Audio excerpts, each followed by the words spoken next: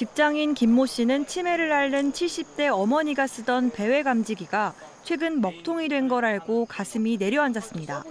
GPS 신호로 사용자 위치를 알려주는 손목시계 형태의 위치 추적기인데 치매 환자와 발달 장애인 실종을 막기 위해 2년 전 정부와 민간 기업이 손잡고 무상으로 나눠줬습니다.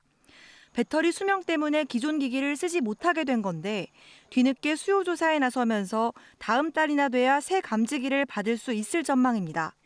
뭐 나가지 말라고 가둬놓을 수도 없는 거고 다른 사업보다 요거는 사람의 목숨이 왔다 갔다 하고 실종되면은 언제 찾을 때까지 굉장히 애를 태워야 하고 불안에 떨던 김 씨는 결국 사비로 감지기를 구매했는데 김 씨와 같은 시기 감지기를 받은 5천여 명도 사정은 마찬가지입니다. 최소 한 달 이상 감지기를 쓸 수 없거나 다른 기관에서 급하게 감지기를 빌려야 하는 상황입니다.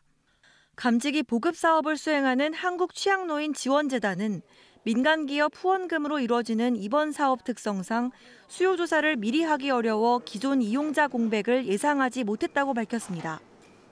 사후 관리 책임이 있는 보건복지부는 이런 상황을 파악조차 못한 것으로 확인됐습니다. 정책화되는 과정에서 좀 공백이 좀 있는 상태고요. 이런 사업은 안정성이 조금 부족한 부분이 있습니다. 문제가 불거지자 복지부와 재단은 뒤늦게 수요조사 시기를 앞당기는 등 제도 개선에 나서겠다고 밝혔습니다. KBS 뉴스 한솔입니다.